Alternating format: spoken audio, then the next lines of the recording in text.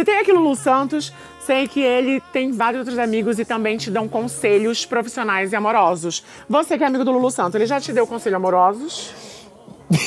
ele já te deu conselhos Deu. amorosos? Não? Deu, deu, deu. Fala um pouco pra gente como foi isso. É, tipo, antes do show do Lula, inclusive, é, o Lulu tem um papel muito importante na minha vida. Antes de eu conhecer ele e depois mais ainda.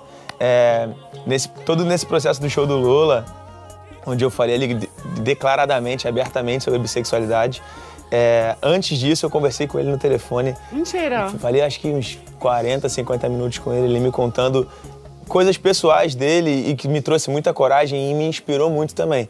E fora a existência dele como artista, as músicas dele, o que diz nas músicas dele, eu costumo dizer que quando eu era criança eu já ouvia Lulu, mas não entendia tão bem o que ele queria dizer. Depois na adolescência, junto com o meu processo de descobrimento também, as músicas dele fizeram mais sentido ainda e, e tomaram peso e uma importância maior ainda na minha vida. É isso, vida. É muito bom quando a gente consegue se descobrir, ter o apoio de pessoas que quando a gente era criança. E não é pessoas, né? O Lulu, pra mim, é uma entidade, um Deus na. Terra. E você arrasou no show do Lula, porque eu tava lá, eu acompanhei, foi tudo, amor.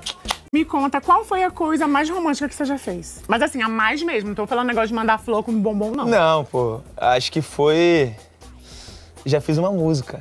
Chique. Fiz uma música pra Fofo. pessoa. Fofo. Não- acho que nunca ninguém escreveu uma música pra mim. Ah, Faz uma música pra mim.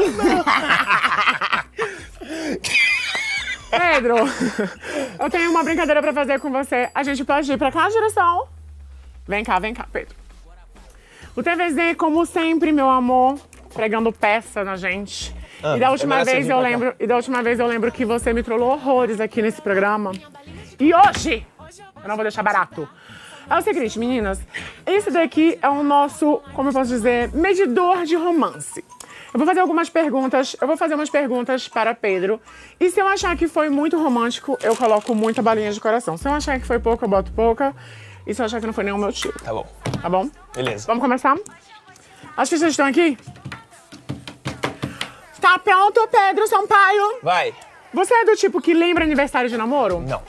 Não vai ganhar. Você já fez música já, inspirada em alguém? Tu falou que fez, né? eu Bastante achei coisa, fofo, tem gente. bastante coisa. Eu achei fofo, duas mãozinhas. Inclusive, Três. foi recente, foi uma música. Conta mais. Eu tô cada vez mais descobrindo esse meu lado compositor. Eu sempre escrevo as minhas músicas, mas eu comecei a querer me, me provocar e escrever mais coisas sobre amor, sobre outras acho coisas. massa, Pedro, você- E o amor inspira, né? E eu tô super inspirado Inspira e então. inspira. Pedro, mas a próxima pergunta. Tu já chorou depois de ter levado assim fora? Eu nunca chorei, Ah, gente. não. Eu tenho eu sou escorpiana. Eu faço os outros chorarem, é diferente. Mas você já chorou? Não. Nunca? Também não. Que mentira, Pedro. Você não chorou, eu também não posso Nunca chorar? ficou triste? Chorar de chorar, não, nunca chorei. Tá bom. Nesse sentido. Cancelou um compromisso uma viagem pra ficar? Como é? Sim. Agora. Realmente, gente, uma vez ele cancelou um show pra ficar comigo. Ai, para, Pedro. Não precisava. Pô, Eu vou botar uma Mas pra gente cancelar compromisso é algo que merece É. muitas balinhas. Eu vou botar umas três mãos aqui, porque, tipo, gente, cancelar show, cancelar compromisso é foda. Você já contratou um carro de som pra fazer. Não, pelo amor de Deus, você já fez isso, eu não quero mais namorar com você. Não. Já contratou carro de som pra chegar Não. na porta nesta longa estrada da vida? Nunca. Nunca? Nunca, bebê. Poxa, eu vou tirar uma porque eu acho Que super isso? romântico. Não, Eu você acabou de falar o romântico. contrário disso. Mas eu tava te testando. Eu tava te testando. Você não, Que não isso? passou. Tirou muita. Já se declarou mesmo correndo o risco de não ser correspondido? Eu já não vou mentir. Acho que já também. Acha ou não? Não, não. Nunca se declarou. Não, eu me, eu me declarei poucas vezes na minha vida. Já ficou com cara de bobo sorrindo à toa? Já. Ai, acho Sempre. fofo, né? Não, cara de bobo é com você mesmo. Eu amo. gente, fala se o Pedro não tem a cara de bobo mais fofa. Mas eu amo essa, fa- essa fase do romance quando a gente fica. Pega o celular e fica digitando, sorrindo. Aí alguém fala assim, mulher que tá rindo de quê? Se eu estiver sorrindo e digitando, pode ter certeza dos dois. Ou eu tô pedindo comida, ou eu tô marcando pra sair com algum boy. É sempre assim. Tu é bom de cafuné? Fungadinho no cangote, massagem? Eu recebo muita reclamação falando que eu faço pouco cafuné e que eu deveria fazer mais. Então eu tenho que fazer mais. Pedro, cafuné é Eu muito tô sendo bom. honesto e sincero. Eu gosto, adoro receber. Adoro né? receber, claro. Mas claro, né? Receber é muito bom, quero ver fazer. Já acordou mais cedo pra fazer café da manhã? Já. O que, que você fez? No café, Eu depende. pedi. Ai, tu pediu. então. Eu pedi, pô. Que isso, mas é, o que vale é a intenção. Não, não, não. Tem que fazer com a sua mão. Aí vocês uma torrada com, com- torrada com requeijão ruim ainda. Meu amor, é- é, feito, Queimada ainda a torrada. se é feito pelas suas mãos que tocam. Então tá bom. É isso, eu queria. Já. Deixa eu ver aqui. Comprou um presente fora da data, assim, não é dia dos namorados. Finge que Óbvio. hoje não é 12. Óbvio. Aí comprou um presente pra dar aquele. Já. O que foi? Conta pra você, pode contar? Posso. O que foi? Eu acho que a gente, quando lembra da pessoa, a gente tem que comprar um presente. Às vezes vem à vontade do nada. A gente, a gente tá no aeroporto, por exemplo, aí várias lojas, a gente, pô, vou levar um presente, um agrado pra casa e tal. Já comprei joia, já comprei algumas coisas. Engraçado que pra mim, quando namorava comigo, Mona, nem miojo fazia, Água. mas tudo bom, vamos lá. Ah, já mandou nudes fazendo coração?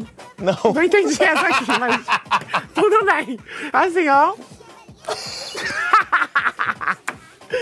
Diretora, acabou, acabou as perguntas. Como é que eu fui? Você foi muito severa Peraí. comigo. Gente, Você foi muito severa comigo. mas imagina que tem gente que nem um coração ia tal, já tá num coração. Você foi muito severa comigo.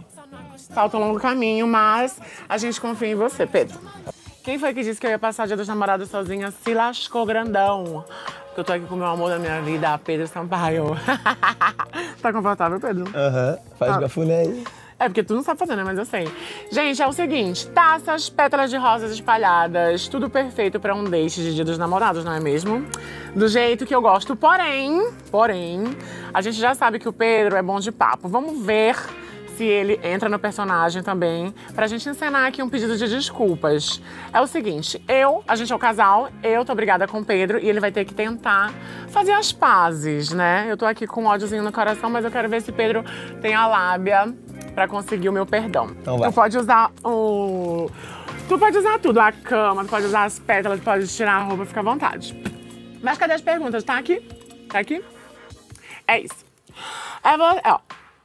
E vocês estão mandando as fotos. E vocês estão mandando as fotos, meninas, dos Vitor Lovers aí, participando muito. Tem muita loucura. Aproveita e vai mandando as fotos pra vocês, usando a hashtag, tá bom? Já tá preparado, Pedro? Aham. É contigo mesmo, a gente tá brigado. Como que tu vai conseguir meu perdão? Não, não é essa dinâmica não, pra ver. É sim.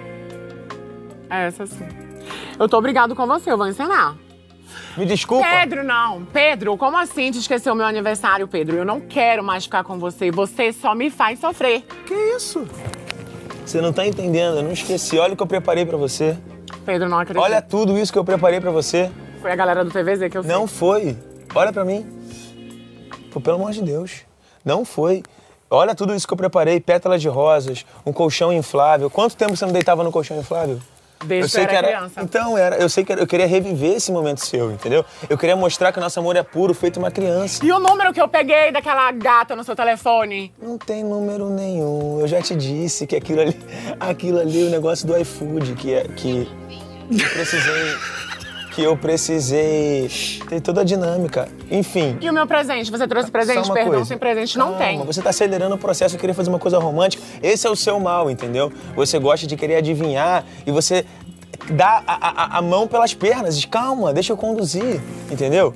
Eu trouxe pra você aqui, ó, da época da Grécia. Ai, Ai, que susto! da época da Grécia Antiga, que as pessoas faziam isso, ó. Ah. Uma uva, um cacho de uva. E cada uvinha dessa aqui quem disse que eu representa. minha boca? Calma.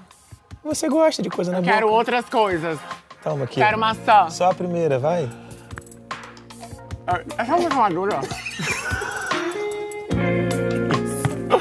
Gente, ó, vamos Essa ver sua coisas. risada Eu- foi que não, me conquistou. cara. Eu sei que o que me conquistou Então, tá boa a uva, não tá? não tá gostoso. Então, tá ótimo. Não tá boa, não, Viu? mas eu como, porque você que tá dando. Não, não... bo- Tira essa Cadê minhas flores? Flores? Aqui. Não? Pétala. Não, não, é, não é o suficiente? Não. Mas olha como é que eu te conheço. Eu sei que isso Eu aqui quero não é o celular suficiente. Olha só o que eu trouxe pra você. Você pediu flores? Pedro, eu amo essas flores. São as minhas favoritas, como você sabe? Mas eu te conheço. O amor é revelador. Ai, Pedro. Consegui? Sim, conseguiu, perdão.